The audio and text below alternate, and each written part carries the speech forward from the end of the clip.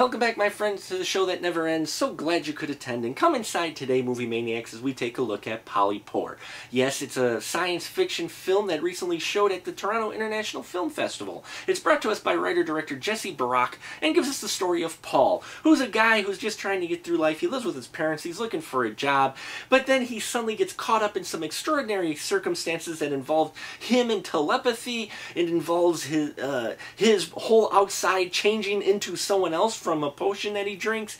It involves these agents that work for an evil corporation that can teleport in and out of nowhere who are trying to capture Paul and his buddy to help make science experiments out of them.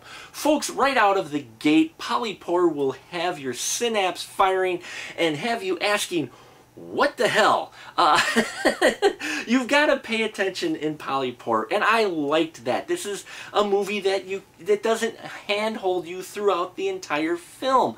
Hollywood big screen films, most of them will lay out everything nicely for you, most of them, and, and hold your hand through the script. Polypore drops the hand and says, "Look, here's how the story is. You got to put the pieces together."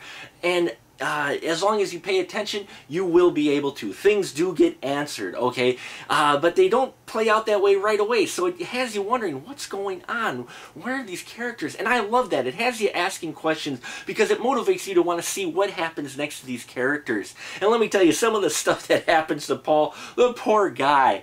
Oh man, now Paul is played, the character Paul is played both by uh, Jeffrey uh, uh, Bylat, I hope I got that right, if I murdered that I apologize, and uh, Chen Tang, and both play this really well. They play Paul, Paul is kind of the character that links you to the audience. The guy as well trying to figure out exactly what is going on. So they both portray the same character very well, and you get the feeling that this is actually the same guy just in a different skin. So both performances there are very well done, as well as the performances by the supporting cast around them. All these uh, interesting characters, the agents who can teleport in and out. I loved each and every one of them. They were uh, a little bit different spin on some cliche characters and just fun to watch. Uh, what's also fun is the dialogue in this film. It's again, you got to pay attention to it and the things that are happening because if you miss a few minutes of it, you may miss a lot. And I love films that make you think.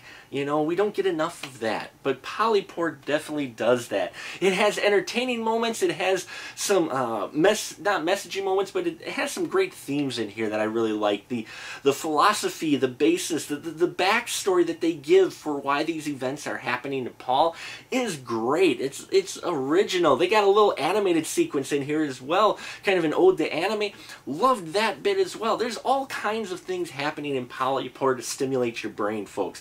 There's even even some fantastic visuals in here uh, with just some time-elapsed photography. The, the colors were stunning. The production value of this film was fantastic as well. It surprised me for being uh, an independent film like this. It, the production design and value of this was fantastic. And I really loved it visually as well as mentally stimulating. So Polypore fires on all cylinders. It's definitely one that I think uh, fans of sci-fi independent films, fans of just independent films in general should catch. I think you can catch the film at the Polypore, uh, website. Uh, look for him also possibly making the festival scene.